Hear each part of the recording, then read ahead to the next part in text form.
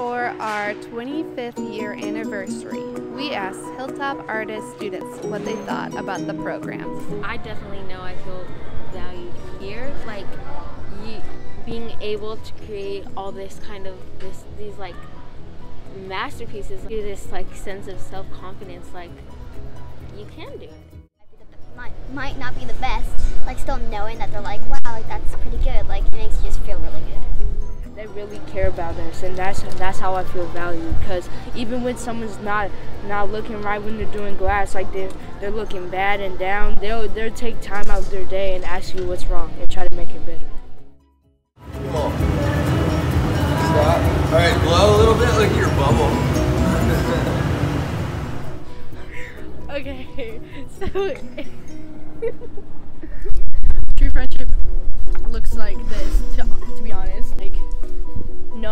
person's gonna be able to be there for you. but it's like certain friends that can make you laugh or make you feel some in a good way like these two or just having a good friend next to me will just make me feel great and like make me laugh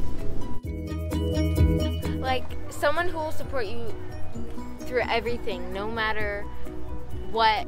They'll just be with you through everything, and you can also laugh with them and just like it just always kind of lifts your spirit when you have a, a real friend around.